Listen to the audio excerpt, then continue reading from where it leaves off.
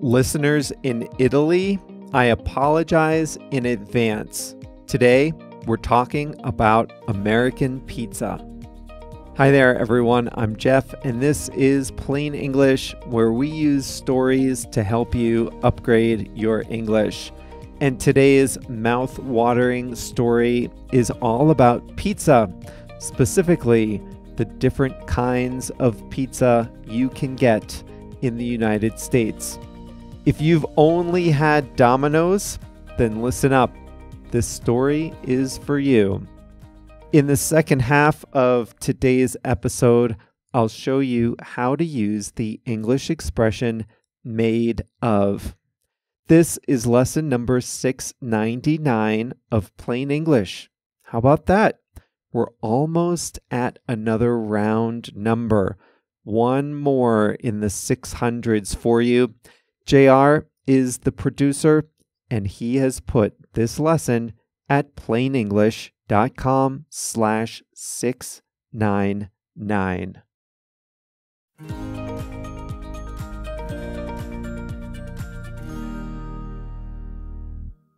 Not too long ago, pizza was a relatively unknown ethnic food in the United States. Italian immigrants brought pizza to East Coast cities in the 1880s. But it wasn't until about the 1940s that it spread from Italian neighborhoods into the American mainstream. Today, of course, pizza is one of the most popular foods in the United States. You see pizza on the dinner table, at parties, in conference rooms at the office, at bowling alleys. Anywhere people get together is a good place to have pizza. American pizza is quite different from traditional Neapolitan pizza. Almost all American style pizzas have a thicker crust than Italian pizzas have. And most of the time, an American style pizza is made for a group of people, not just as a single serving. There are many regional varieties, too many to talk about in just one episode, but here are some of the most famous. Start in New York, where pizza first arrived with waves of Italian immigrants in the late 19th century. A New York style pizza is big, about 45 to 60 centimeters in diameter, and it's thin. The dough is stretched out by hand, and the slices are wide so wide, in fact, that the most common way to eat a New York slice is by folding it. New Yorkers fold the wide crust in one hand. Folding a slice makes it easier to eat and it catches the grease and the toppings. A New York slice can be eaten at a table with a knife and fork, but it's just as easy to enjoy your slice standing up with a paper plate. The traditional New York pizza is made of dough, tomato sauce with spices, and mozzarella cheese. Popular toppings are pepperoni, sausage, mushrooms, onions, and peppers. It's common to add oregano and red chili pepper flakes after it comes out of the oven. Speaking of the oven, original pizzerias in New York used coal fired ovens. For safety reasons, most are now gas fired. New York is the king of the thin slice. Now, let's go to Chicago, which is known for its deep dish pizza. This is a pizza unlike anything you have ever seen. A single slice of deep dish pizza is a meal in itself, and most Chicagoans only have deep dish pizza once in a while. You'll know why in a second. A Chicago style slice starts with a very thick crust. The crust is an inch thick and has a buttery taste. It's cooked in a circular metal pan with high sides. The cheese goes on the bottom, followed by the toppings, followed by a generous helping of sauce. So the order of the ingredients is different from other pizza styles, which put the sauce on the bottom and the cheese and the ingredients on top. When a Chicago pizza is ready to eat, you need a special spatula to serve the individual slices. It really is like a thick piece of pie. And don't try to eat this with your hands, or, God forbid, try to fold it. This is a pizza you eat with a knife and fork. A deep dish pizza takes about 30 minutes to bake. So if you go to Giordano's, Lou Malnati's, or Uno's and order a deep dish pizza, expect to wait a while. You can't really buy single slices. What do Chicagoans do when they're not having deep dish? The city has a distinctive thin crust style too. It's called tavern pizza. Tavern pizza has a very thin, crispy crust. The pizza is a circle, but it's cut into small squares, which are easy to snack on and share with a group. This is the pizza you'd bring to a party. Everyone can have as many of the small squares as they like. Chicago tavern style pizza is easy to eat with your hands. There's another city with a thick pizza style, and that's Detroit, Michigan. Detroit is the traditional home to America's car making industry. Detroit style pizza is cooked in a steel automotive pan, the kind car companies used to store car parts in the factory or to catch grease. You heard that right. They cook Detroit pizza in a style of pan that's used in factories. A local bar owner named Gus Guerra is the undisputed father of Detroit style pizza. He got some of these automotive pans from a friend who worked in the factories. His Sicilian mother in law created a pizza recipe. They put the pizza in the automotive pan, put the pan in the oven, and that's how Detroit got its own style of pizza. A Detroit pizza is thick. Rather than mozzarella cheese, a Detroit pizza has Wisconsin style brick cheese on top. The cheese extends all the way to the edges of the pan, so it gets caramelized and crispy around the edges. It's cut into squares, and most people eat this pizza with a knife and fork. If anyone offers you a Detroit slice, make sure to ask for one of the corner pieces. Those are the pieces with the crispiest cheese. They're the best. You can get Detroit style pizza at restaurants around the country. California is, let's just put it this way California likes to be different. And so it is with its pizza. California doesn't have a specific style, and that is its style. A California pizza might have barbecue chicken on top, or it might have smoked salmon. Pineapple on pizza? Anything goes in California.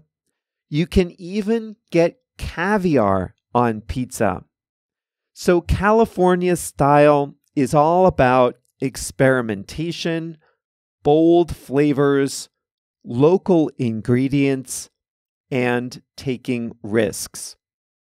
A couple more New Haven style pizza is like New York style, but it's even thinner and crispier. Quad Cities pizza has spicy sauce and a cracker thin crust that they cut with scissors. Greek pizza in New England has a thick, chewy crust and a lot of olive oil.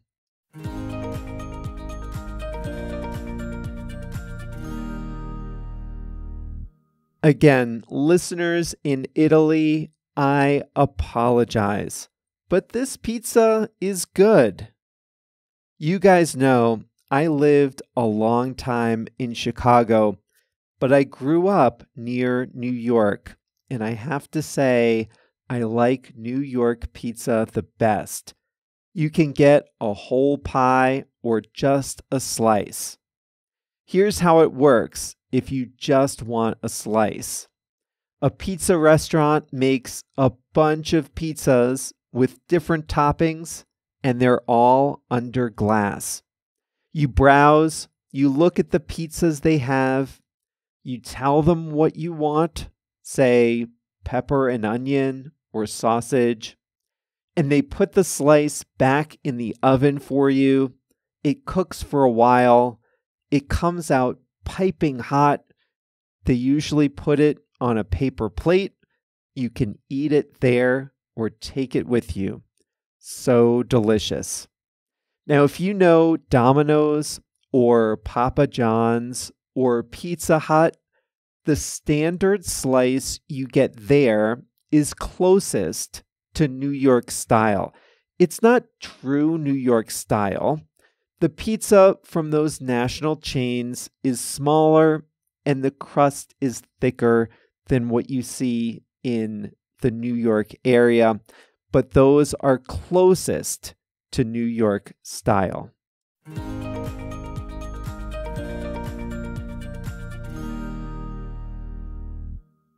made of. When you talk about the ingredients in a final product, you can use the expression made of. And you say that something is made of its main ingredients. This is used in the physical world. It can be about food or it can be about other things. Let's start by imagining a pizza. This is something we're all familiar with. What is a cheese pizza made of? In New York, a cheese pizza is made of gluten heavy dough, tomato sauce, spices, and mozzarella cheese. That's what it's made of. Those are the foundational ingredients that combine to make a pizza. But what if you're making pizza dough? What is pizza dough made of? Most pizza dough is made of flour, yeast, water, salt, and olive oil. So that's food, but made of can be used for many types of physical things. Think of classic furniture. Think of a bookcase or a dresser that was made many years ago. That furniture is probably made of solid wood. That means a furniture maker created it from solid wood. But now think of modern, lower cost, discount furniture stores. Are the bookcases you buy at IKEA made of solid wood? No, they are not. They are made of particle board. That's like wood pieces and sawdust formed in the right shape. When you use made of, you don't have to state every ingredient or material used to make a final product. If you want to, you can say only the main material. You can say that a boat is made of fiberglass. That's the main material, but of course there are others metal, glass, wood, and others. But if the main material is fiberglass, you can say the boat is made of fiberglass. The band Coldplay released an album called Moon Music, and they released it on vinyl too, on a record. But not just any record. These records are made of plastic removed from the ocean. There's a lot of plastic floating in the ocean, and a Dutch nonprofit teamed up with Coldplay to create a vinyl record made of recovered plastic from the ocean. I don't drop my phone. I don't knock it off tables. I don't abuse it. I don't drop it in a swimming pool, a bathtub, or worse. But a lot of people do drop their phones. And so phone makers advertise how strong and durable their phones are. Apple says its iPhone 15 is made of grade 5 titanium. I have no idea what grade 5 titanium is, or whether it's a lot better than grade 4 or grade 3.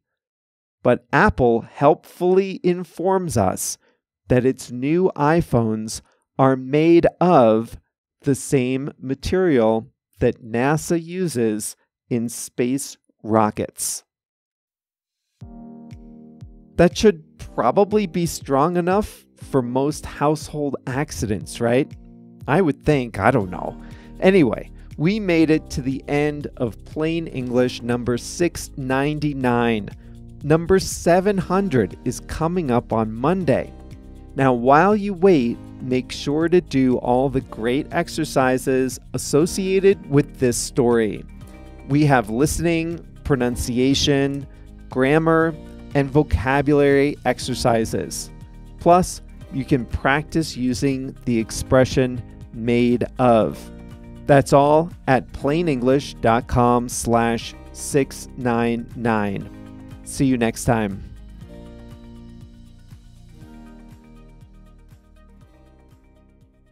Hi there. Did you know we're about to release our 700th episode? That's amazing, right? And we've got a big celebration planned, and I'd like for you to be a part of it.